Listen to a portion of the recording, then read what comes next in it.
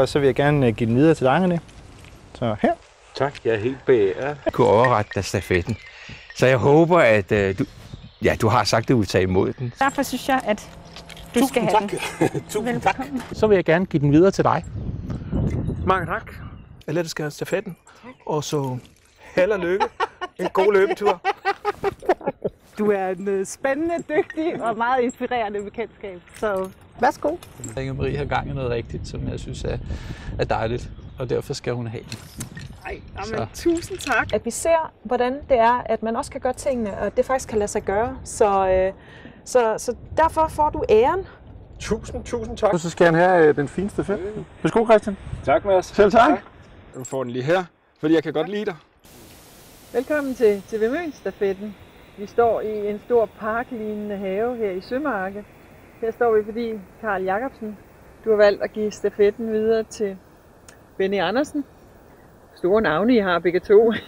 Men inden du giver den videre, skal du lige fortælle, hvad det er, du har sat på her. Det er halehår fra en af de heste, der har fulgt mig igennem en halvsnes år. Så den ting, at det skulle lige være et minde her. Så stafetten har simpelthen fået hestehale. Ja. ja. Og hvorfor skal Benny Andersen have anerkendelsesstafetten? Jamen, øh, jeg kender Benny som en rigtig god nabo, og han er et engageret og aktivt menneske, så derfor vil jeg gerne give den videre til Benny. Skål. Tak skal du have, Karen.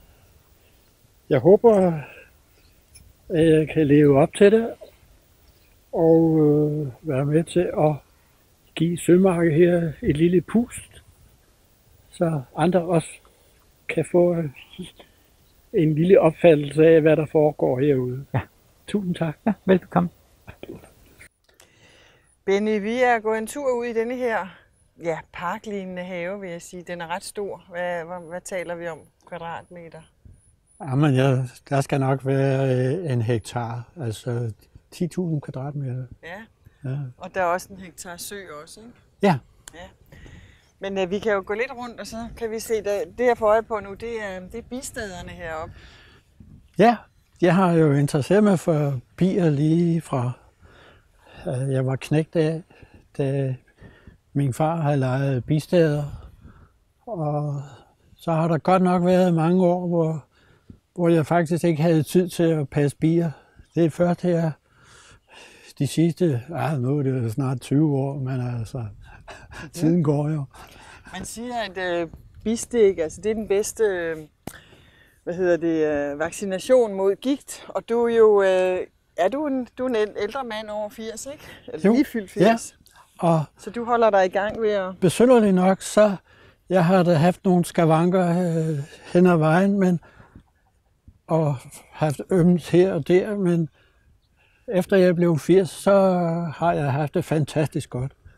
Det var en god nyhed, vi kan sende ud. Og så er det måske bierne, der er med til det.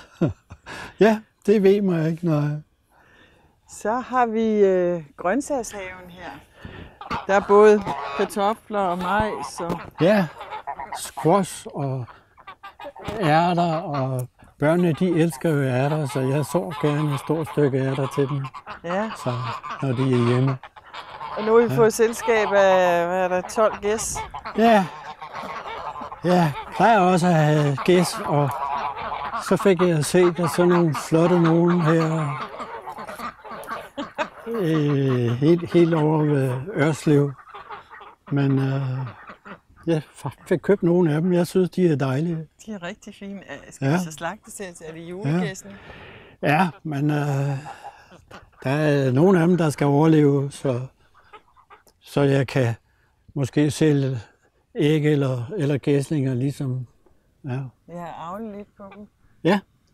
Ja, I har godt gang i, uh, i avl her inde i stallen. Der ligger, der ligger en hund med, er det ni, ni hundevalpe? Ja, ja, men det er Kirsten, der, der står for hundene der. Det er hendes store interesse, ja. ud, ud over turisterne. Og det er din kone, og vi skal høre en historie lidt senere om, hvordan Ja. I mødtes. Ja, Men skal vi gå lidt videre her ned mod... Ja, øhm, ja der er en, øh, en, en lille damp her. Er det egentlig, I har fået gravet ud? ja, ja. Det, altså, jeg er jo født i en familie, der, hvor min mor hun interesserede sig for have. Og det, og det stammede faktisk herude fra. Øh, min mormor hun var meget haveinteresseret, og da de byggede stuehuset i 17, så blev der anlagt en meget flot have her. Ja. Og den gik så i, i forfald, fordi øh, øh, min, det var min morbror, der overtog gården, og de havde ikke nogen børn, så de havde aldrig havde sådan interesse for, for den slags ting. Mm. Men øh, da jeg så kom her, og jeg har ellers boet et dejligt sted i Mandemark med udsigt over Østersøen, så jeg tænkte, hvordan må det skal gå her? Men øh, jeg har jo lært at finde ud af, hvilke muligheder der er, og der er jo virkelig mange muligheder i, i området her med sø, og, og det, det ligger faktisk dejligt, og alt det lave her, det var jo buskage, fordi øh, det var, lå for lavt til at, at dyrke. Men øh, så på et eller andet tidspunkt, så til at begynde med, der var haven ganske lille. Øh, kun med en strimmel ned til, til vandet. Men så har jeg fået... Jeg tænkte, der sker jo ikke noget ved at prøve at skabe nogle værdier. Det skal jeg da love for, du har. Altså, nu står vi lige ved siden af et uh, hasselnødehegn, Ja, og det ser ud til at bære rigtig godt. ja men der bliver fantastisk mange hastelødder i år. Ja. Og det gælder også de vilde træer. Øh, Men der har heller ikke været hastelødder de sidste to, to år. Så Men nu kommer det.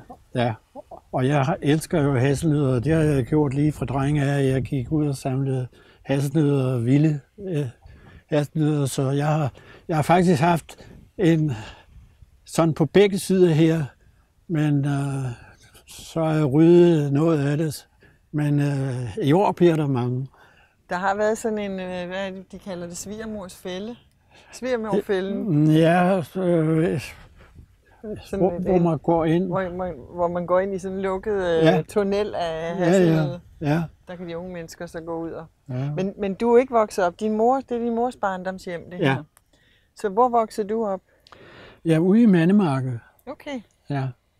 Og, ja, og det var jo en, en gård ligesom her, og, men som sagt med udsigt over Østersøen. Ja. Ja. Og ja, jeg har jo en, en søster, men mine forældre, de, de knoklede jo. Det gjorde mig dengang. Så jeg var faktisk overladt lidt til mig selv. Jeg havde aldrig nogen øh, øh, kammerater, da jeg, var, da jeg var barn og det der. Så jeg var meget overladt til mig selv ude i naturen, og det har sikkert påvirket mig. ja. Ja. Og I havde landbrug med køer og Ja, ja. grise? Der var køer og griser og heste. Og, ja, ja, det er jo en fantastisk udvikling. Der, jeg har jo prøvet at, at pløje med en enfurplov og hestene foran. Og, og i høsten, når vi meget, så havde vi tit øh, tre heste foran. Så blev jeg sat op på den midterste for at være med til at holde lidt gang i, i det hele. Det er en utrolig udvikling, du har været vidne til i landbruget. Helt fantastisk. Skal vi lige skal vi prøve at sætte os ned her ved dammen? Ja. Øhm, så du voksede op, dine forældre havde landbrug, og du tænkte, du skulle også overtage det og Ja. være landmand? Det var jo noget af mig. Det var forældrenes ønske, og ja, jeg har prøvet at, at leve op til det jo.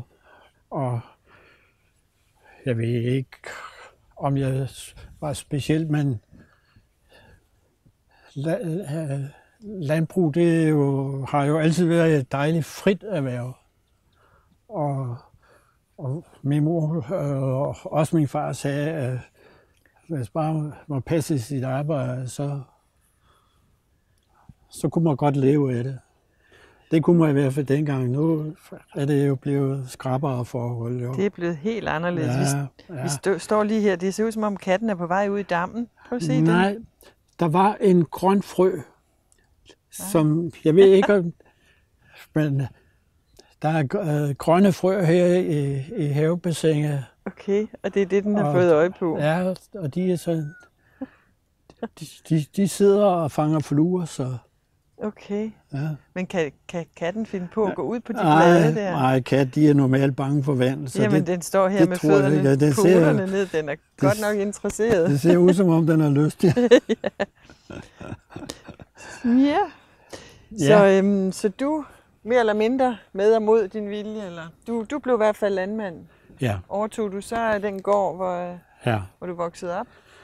Ja, jamen, øh, ja, det gik jo ikke helt, som det skulle. Jeg blev jo godt gift og fik to børn, og ja, og jeg måtte jo også arbejde meget, så øh, min kone, hun, hun synes øh, nok, at, at jeg tog mig for, for lidt af hende, og selvom hun selv kom fra en gård, det var mærkeligt, men hun havde så lyst til uddannelse, og ja, så det, det blev der i hvert fald til, at vi, vi stoppede, og, og jeg blev alene.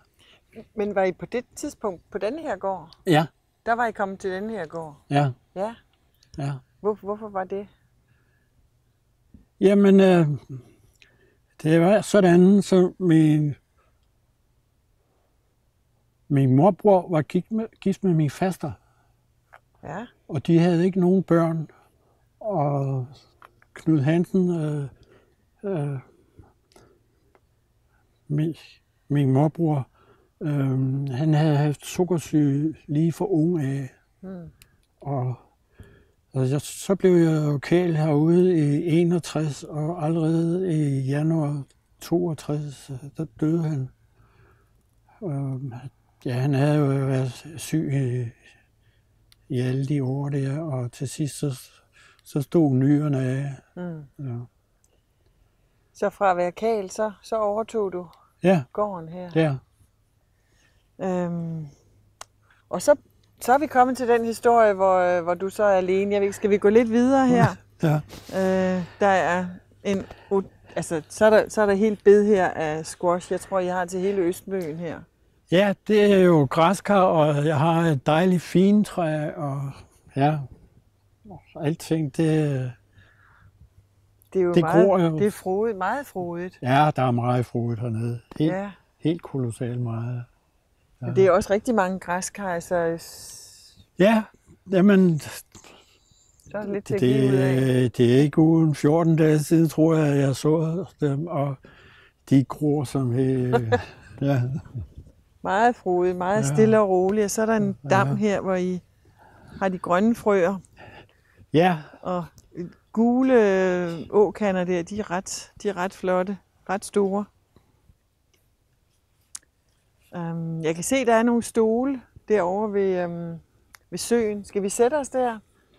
Vi skal høre historien. Du var, du var blevet alene i 72. det var jo de kommende år, det var jo nogle år, jeg fik lært lidt om andre ting end, end, end landbrug. Jeg startede faktisk med at, at lægge billet ind til at få en narkoman boende her. Ja, jeg havde ham der en sommer, og, og samtidig så var der en, en klub, der havde lejr hernede i skoven. Så det var ellers en ret fornøjelig sommer. Herude er jo ikke nogen, man bare har kommet til stede. Mm. Det var nok til at, at forsyne ham. Det var som plejebarn. Ja, ja, Mm. mm. ja. Mm-hmm. Men ja, det var jo meningen, at han skulle hjælpe mig lidt, og, og han, han kunne godt køre lidt traktor og sådan lidt, så... Men øh, ja, jeg blev opfordret til at, at, at, at tage en efterfølger, men det kunne jeg godt se, det kunne jeg ikke mærke det, ligesom jeg havde tænkt mig det. Mm. Så passede mit landbrug, og det træffede selvf- selvfølgelig også andre øh, damer, og fandt ud af, at det var ikke så mærkeligt, at de var alene. Fordi øh, der, er, der er mennesker, der ikke er gode til at, at leve i, i, i parforhold. Altså. Ja. Hen ad vejen, så var jeg ved at opgive det, jeg troede, at jeg skulle leve alene. Så var der jo, øh, ja, Så når vi frem til 79, ikke? ja, Ja.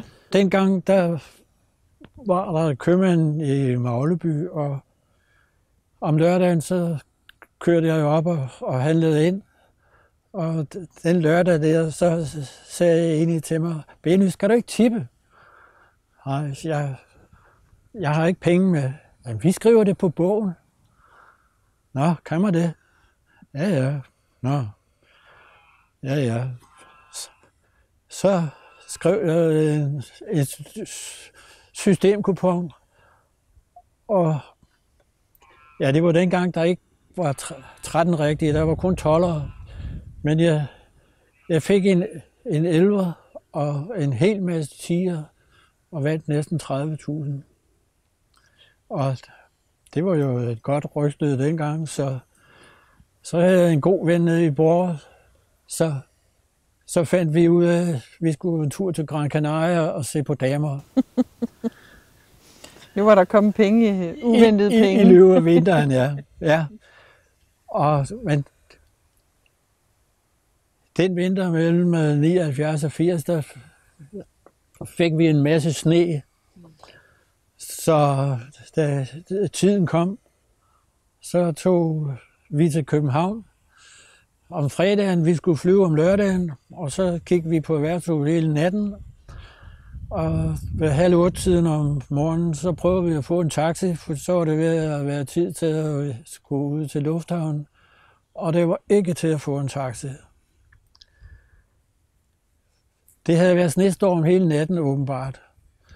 Og ja, jeg er ikke så kendt i- inde i København, så jeg var ikke engang klar over, hvor bilen stod, men det vidste Arvid det heldigvis. Så vi fandt bilen og fik startet den, og den var fuld af sne og gik på tre cylindre. Men vi kom ud til Castro en halv time for sent, og tænkte flyveren, den stod og ventede på os. Der var, der var mange andre, der var kom for sent den dag der. Men øh, På grund af sne. Ja. vi kom til Gran Canaria, og det var jo noget, noget helt nyt at komme ud og rejse og ud og flyve. Det var første gang, du var ude at flyve. Ja, jeg tror, ja, det var første gang, jeg var ude at flyve. Og det var øh, en af spises de gamle skramlekasser der. Ja. ja. Ja, så var vi på Gran Canaria, og der var jo dejligt, men, men der var bestemt ikke nogen kvinder, der kunne interessere mig. Og ja, jeg havde godt nok selv Kirsten øh, og hendes forældre, men Kirsten hun lignede en på 16, og jeg var jo blevet 40 dengang, så, så ugen gik, men øh, den sidste aften, der var vi til grisefest hos Antonius, og ja, jeg fik der noget sangria, så den sidste dans, der fik jeg taget imod til mig og, og gik ud og dansede med Kirsten. Hun, hun havde moret sig så godt med nogen fra Vestmøllen, og så, ja. Og jeg, jeg ved ikke, men Kirsten, hun klippede mig så dejligt. Så vi havnede bag i bussen, da vi skulle tilbage til Puerto Rico, hvor, hvor vi boede. Men øh, ja, Kirsten havde jo sine forældre med, så Hun var ikke kun 16. hun var jo så 19 dengang. Okay. Ja. Men øh, ja, dagen efter så fløj vi tilbage til, til Kastrup, og, og jeg sagde pænt farvel til hende inde i lufthavnen, og, og regnede bestemt ikke med at, at, at se Kirsten mere. Og der gik også, ja, der gik øh, måske en måned, så fik jeg et brev en dag, og det var Kirsten, der skrev. Hun havde, hun havde holdt fri fra, fra gymnasiet en dag, hun, hun gik på øh, gymnasiet inde på Østerborg inde i, inde i København. Og så var hun taget til Møn. Og, og op i stedet. der var en telefonboks dengang, så vi havde ikke udviklet adresser eller telefonnummer. Men så slog hun op i telefonbogen, og Benny Andersen, det var noget af det første, og, og jeg havde måske fortalt, hvor jeg boede henne. Så Kirsten tog en, en bus ud til Sømark og gik herud og gik for, og tænkte, nå, det er her, jeg bor. Og så tog hun hjem igen. Okay. Men så var det jo så, hun skrev til mig. Ja. Og ja, det blev til, at vi skrev sammen. Og da hun havde taget studentereksamen, så mødtes vi inde i Tivoli. Der var, der var hun jo så blevet 20. Og du var dobbelt så gammel. Ja. Ja. ja. Kirsten, hun, øh, ja, hun kom i apotekerlærer som, ja, som apotekerassistent. Og øh, så, kom hun ned og besøgte mig, og Kirsten hun var meget lystfisker interesseret. Og jeg havde jo båd, og så det blev til at hver weekend Kirsten kom, så var vi ude og fiske. Kirsten hun ville jo så først have den uddannelse, så der gik jo tre år. Og så blev der snakket om, at hun skulle flytte herned. Og, men det var på den betingelse, vi skulle først ud og have en, en, en og rejse en tur. Så, så en aften så ringede hun og sagde, nu ved jeg, hvor vi skal hen. af." Nå, hvor vi skal til Australien. Hold op. Nå. Nå. Ja, ja. Ja, ja. Det må vi jo se på. Så kørte jeg op til Magleby. Jeg havde nogle gode venner op på Magleby Kro. Så sagde jeg, nu skal I høre, hvad Kirsten hun vil. Hun vil have mig med til Australien. Australien, siger vi. Det er alle tider spændende. Du skal bare sige ja. Okay. Så det, det endte med, at vi tog tre måneder til Australien og New Zealand. Ja, okay. Ja. Og Og der fik I mulighed for at være sammen. ja, Ja. og ja, vi synes stadigvæk om hinanden, så det blev til, at Kirsten hun flyttede herned, og, og et år efter, så fik vi jo Pernille den 19. juli. Holdt vi bryllup og barndåb samtidig. Det var fint. Og så det har været 33 dejlige år. Og øh, nu vi snakker år, så er der jo, øh, du har lige haft 80 års fødselsdag. Hvordan kan det passe? Jo, Ja. ja. Og der har, øhm, der har familien skrevet en sang til dig. Ja, det var Pernille. Hun siger ellers, at det, det er ikke rigtig mig, men hun har skrevet en fantastisk dejlig sang, synes jeg. Ja. Og den går selvfølgelig på melodien øh, Svantes lykkelige dag, fordi du hedder jo Benny Andersen. Ja, det er jo Bennys lykkelige dag. ja. Det handler jo så om mit nærmeste liv.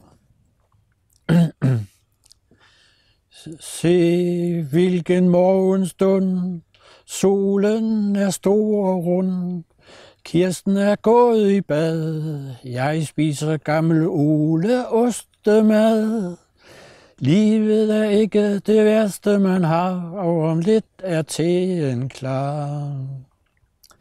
Kirsebærne blomster op, der går en æderkop. Naturen i mig springer ud, og hvilken blomsterskud. Lille skov er ikke det værste, man har, og om lidt er teen klar. Græsset er grønt og vådt, bierne har det godt. Havbølger gør mig lidt våd, fanger en fisk fra båd. Glæden er ikke det værste, man har, og om lidt er teen klar. Hundene kører om kap, enderne skrabber rap, killingen spinder og får, ømt nu sæt nakkehår. Dyr er ikke det værste, man har, og om lidt er teen klar. Sang under brusebad, Kirsten må vist være glad. Himlen er temmelig blå, det kan jeg godt forstå. Lykken er ikke det værste, man har, og om lidt er teen klar. Det næste vers, det handler om mine børn. Kit og Bo kommer på visit. Pernille, Christina krammer lidt. Mathias, Andreas, de lærer. Vi bliver stadig flere. Børn er ikke det værste, man har, og om lidt er endnu en klar. Nu kommer Kirsten ud, nøgen med fugtig hud, kysser mig kærligt og går, ind for at ræde sit hår. Kærlighed er ikke det værste, man har, og om lidt er en klar. Ja, jeg synes, at den er rigtig dejlig, for den handler om, om mange ting, som vi kan være glade for her i livet. Så øh, den tur ned til Magleby Bro, eller Magleby Købmandsbutik, den, den ændrede dit liv. Fuldstændig. Jeg, ja, jeg kan næsten sige, at jeg har levet to liv. Og endda, det er jo fantastisk, at jeg kan få lov til at leve det sidste ud.